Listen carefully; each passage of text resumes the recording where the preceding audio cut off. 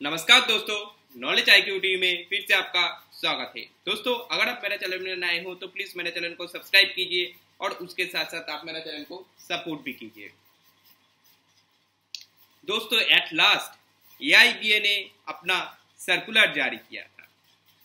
और मेरे पास सर्कुलर बहुत पहले आ चुके थे, लेकिन इस सर्कुलर बताने का मूड और इस सर्कुलर को पढ़ने का मूड मेरे पास तो नहीं था, क्योंकि हम जानते थे इस सर्कुलर का कोई भी मायने नहीं रखता है।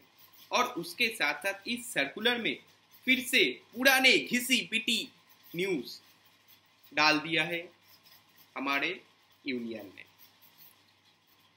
जो बात बताए गए हैं दोस्तों फाइव डेज़ बैंकिंग को लेके, इसमें जो demand for five days banking all Saturdays and Sundays bank holiday जो हम लोगों को चाहिए the impact of this introduction of cash transaction hours banking hours and total working hours were discussed उसके साथ साथ आईबीए ने अपनी ओपिनियन दिए further justification should be built up on the issue so that IBA can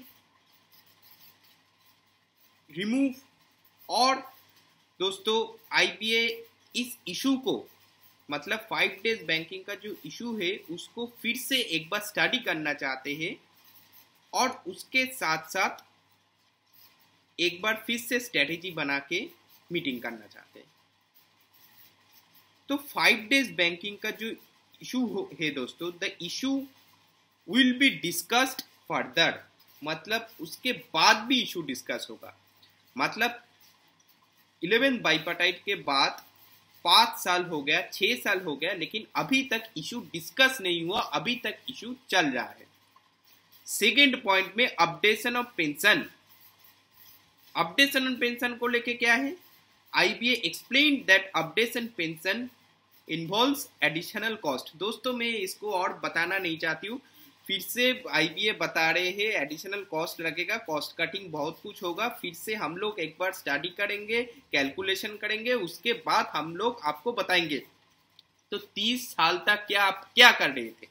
union तीस साल तक क्या कर रहे थे? उसके साथ साथ जब 98 परसेंट स्पाउसेस फैमिली मेंबर मर गए हैं, तब एक्सग्रेशिया का बात आ रहे हैं। प्री 1986 एग्जीबिशन वाह।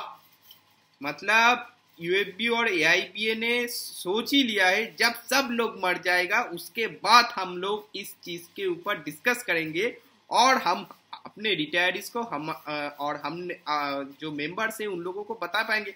नहीं, हम तो डिस्कस किए थे ना। वो तो आपका मर्ज़ी है रिटायर्स मर चुका है ना कोई मर चुका है, लेकिन हमने तो डिस्कस किया। दोस्तों 98 परसेंट मर चुके हैं और उसके लिए अभी अभी आप एक्स ग्रेशिया के बाद 30 साल बात कर रहे हो। ठीक है? उसके बाद से इम्प्रूवमेंट इन पेंशन स्कीम को लेके डिस्कस हुआ।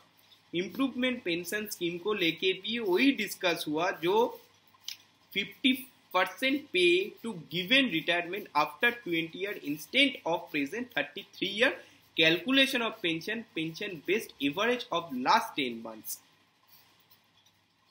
उसके साथ साथ change DA scheme allocation staff welfare fund और मैं कुछ बताना नहीं चाहती हूँ दोस्तों, मैं सिर्फ़ आपको एक ही चीज़ में बताना चाहती हूँ, इसमें जो जो चीज़ हुआ है, सब फेल है। मतलब उस दिन जो मैंने फ़र्स्ट जुलाई का दिन जो वीडियो बनाए थे, जब अगेन फेल्ड बोल के हमने वीडियो बनाए थे बहुत सारे जो लोग बताए थे, आपने तो सर्कुलर जारी नहीं किया, पहले से क्यों बता रहे हो? दोस्तों, पहले मैं यही बता रही थे अगर कुछ हो जाता तो एआईपीए उस दिन का ही सर्कुलर पब्लिश कर देते। लेकिन बहुत सोच समझ के दो दिन बाद 48 आवर्स प्लस बीत गए, उसके बाद ए ने सर्कुलर जारी किए उसके बाद मेडिकल इंश्योरेंस पॉलिसी को लेके जब बात हुआ IPA requested UAPU to submit our views on this issue at that the same may taken up while finalizing the renewal of the policy of the next year, we suggested that scheme retirees should be include maximum basic policy of which the premium to be borne by the bank's additional sum assured by made optional. Uniform banking hours in branches. उसके साथ साथ तो दोस्तों, जो एक private news channel थे, उसमें तो वर्क फ्रॉम होम का भी बात बताए थे हमारे सी लेकिन हम देख रहे हैं वर्क फ्रॉम होम को लेके कोई भी बात नहीं बताए गए हैं बैंकिंग इंडस्ट्री में। PLI scheme pending organisation officers issues तो टोटल फेलियर मतलब बहुत चालाकी से दोस्तों हमारे सीएचबी और ए ने इतना बड़ा एक सर्कुलर जारी किया है और इस सर्कुलर में कोई भी ऐसा चीज़ नहीं है जो अच्छे है। सब में क्वेश्चन मार्क है, सब में क्वेश्चन मार्क थैंक यू और प्लीज़ कमेंट सेक्शन में बताइए,